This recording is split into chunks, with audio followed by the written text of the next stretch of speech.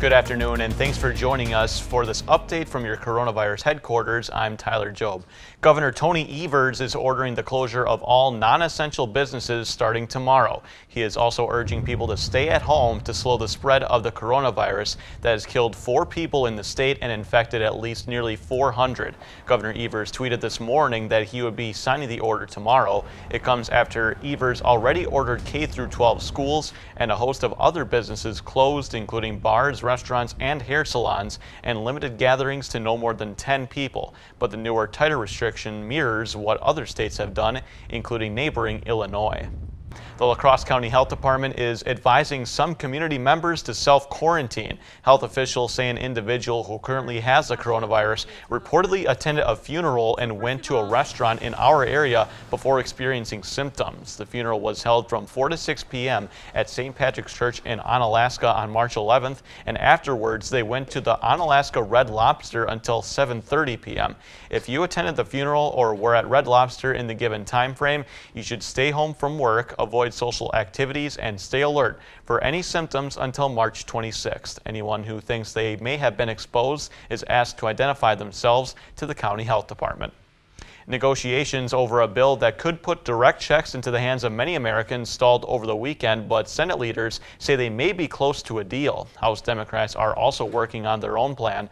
More than 471 Americans have died from the coronavirus, with more than 35,000 U.S. cases confirmed since the outbreak. Natalie Brand is at the White House with the latest. The Senate is expected to hold votes in another attempt to bring a nearly $2 trillion coronavirus stimulus package to the floor. The motion is not agreed to. Democrats blocked a procedural vote Sunday demanding more guardrails on funding for major corporations and additional resources for hospitals and health care needs. We need the best bill possible. And what it has is, for instance, a giant, giant corporate bailout fund with no accountability we had a good bipartisan bill developed on a bipartisan basis until the Democratic leader and the Speaker of the House decided to blow it all up. Senate Republicans are trying to fast track the legislation as six members are under self quarantine, including Kentucky's Rand Paul, the first senator to test positive for COVID 19. Speaker Nancy Pelosi says House Democrats are also working on their own bill.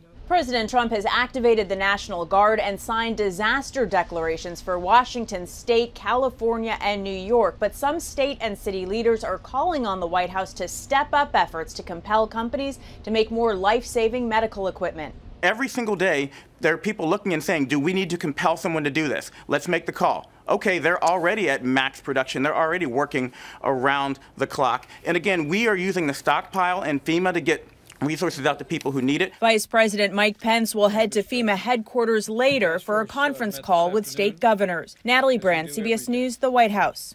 The vice president hinted the CDC could release new guidance later today that could make it possible for people exposed to the coronavirus to return to work quicker if they take precautions such as wearing a face mask.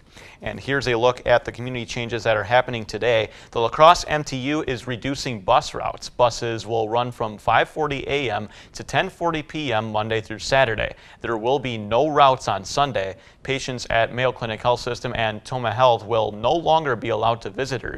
Exceptions will be allowed for specific circumstances like birth and end-of-life care. For more information on community closings and changes, just visit your local coronavirus headquarters on our website, news8000.com.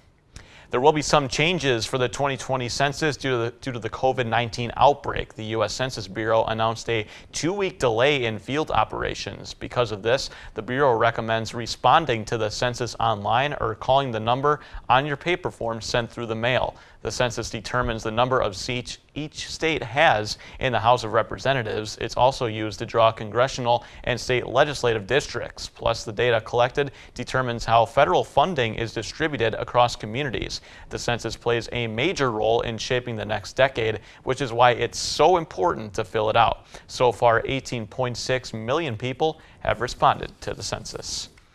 There's plenty of people in our area that are rallying to help others, and we'd like to lift up some of the good happening in our community during these difficult times. If you know of some good deeds happening, please let us know. We'll try to spotlight some of these helpers in our newscasts. You can send us your stories on our Facebook and Twitter pages, and you can also email us at news8 at wkbt.com. Thank you so much for joining us for this coronavirus update. You can always get the latest anytime on our website, news8000.com, or download our mobile app. Have a good day.